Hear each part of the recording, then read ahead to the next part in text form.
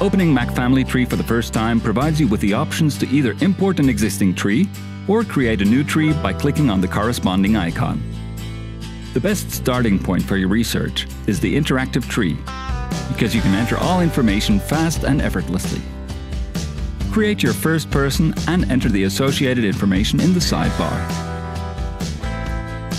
By clicking on Add Relatives, you can create new persons and connect them to the person you previously created.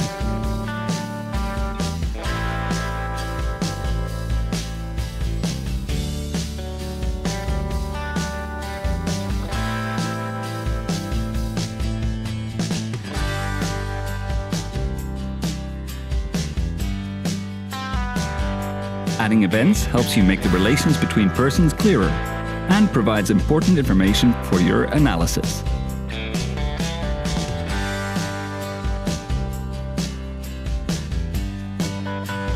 To add media files like audio, video, URLs, or images to a person, look for the section labeled Media. Click on Add Media.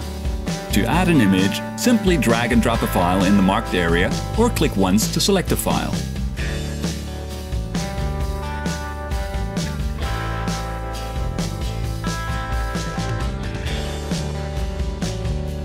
Once you're done creating your tree, you can explore the visually striking charts of MacFamilyTree.